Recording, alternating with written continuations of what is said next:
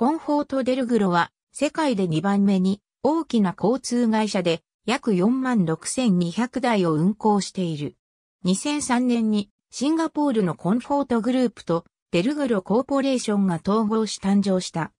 本部はシンガポールにあり、シンガポールの他に中国、イギリス、アイルランド、オーストラリア、ベトナム、マレーシアでも企業活動を行っている。2007年ではそれら他国での収入が約50%に達する。グループとしては今後5年間で海外での収入を70%まで引き上げることを目標としている。コンフォートデルグロは世界中に子会社を所有している。SBS トランジットはシンガポールに2つある路線バス運行会社の一つ、バイコムリミテッドは車両点検、テスト会社、カンフォートデルグロドライビングセンターはバイク、自動車の教習所、メトロライン、ビナタキシーなど交通に関する会社を所有しており、その他にもオーストラリアや中国にも子会社を所有している。SBS トランジットの子会社、カンフォートデルグロエンジニアリングが改造したボルボスーパーオリンピオン、デモンストレーター SBS トランジットのボルボ B キュートルコリラ、コンフォートデルグロは SBS トランジットの株式を持ち、SBS トランジット自体もシンガポール、証券取引所に上場している。SBS トランジットは、シンガポール最大の路線バス運行会社で2800台のバスを242のルートで走らせている。マスラピッドトランジットでは、北東線、ダウンタウン線、ライトラピッドトランジットでは、センカン線、プンゴル線を運行している。カンフォートデルグロバスというチャーターバスもあり、これはシンガポールで最大のチャーターバス会社で200社以上の顧客を持つ。また、マレー半島へのツアーサービスも行っている。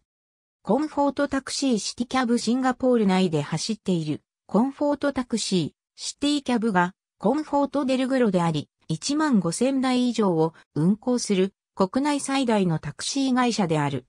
カンフォートデルグロタクシーブッキングシステムはタクシー内の呼気を GSM のパケットデータ通信でつないでおり、予約からピックアップまでがスムーズに行われている。今日では年間約2000万人がこの予約サービスを使っている。カンフォートデルグロレントエーカーは1200台以上の車両でレンタカー、カーリースを行っている。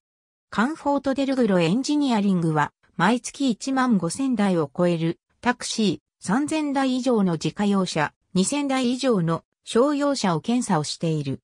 また、シンガポールの保険会社17社の代理店もしている。バイハムリミテッドは事故車の検査、査定をするセンターを7カ所持つ。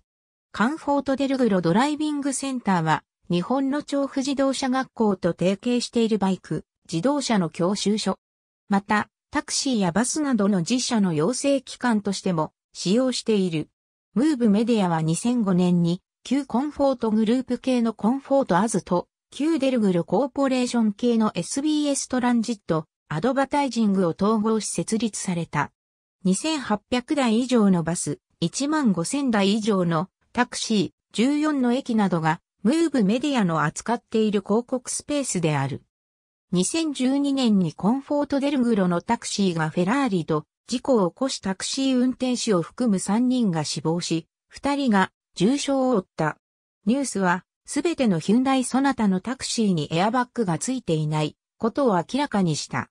所有するメトロラインがロンドンで運行するインバイロ400中国中国では、ジョイントベンチャー企業の上海先進バスサービス、リミテッドが上海で460台の路線バスを18のルートで運行をおり、瀋陽カンフォートデルグロアニュンバスは300台以上のバスを運行している。また、春春カンフォートデルグロバス仕様、リミテッドは、省営の春春パッセンジャートランスポートグループから20以上のバスルートを取得し、運行している。イギリスイギリスではいくつかの会社を所有しており、ロンドンではロンドンバスを運行するメトロライン、アームチェア、ソープスをロンドン交通局ロンドンバス部の許可のもと運営している。2005年にアームチェアを取得してからロンドンを拠点とするバス会社との協力体制が強化された。2006年にはステージコーチグループとジョイントベンチャーを設立し、イングランド、スコットランド間をスコティッシュシティリンク、メガバスのブランドで運行している。アイルランドシティリンクアイルランドを運営おり、ダブリン、ゴールウェイ、リムリック、コーク間のバス運行をしている。オーストラリア2005年にカンフォートデルグロキャブチャージ対リミテッドはニューサウスウェールズ州に拠点を置くオーストラリア最大のバス会社ウエストバスグループを取得し、オーストラリア市場に参入した。カンフォートデルグロキャブチャージ対リミテッドの株式49%はキャブチャージオーストラリアリミテッドが保有している。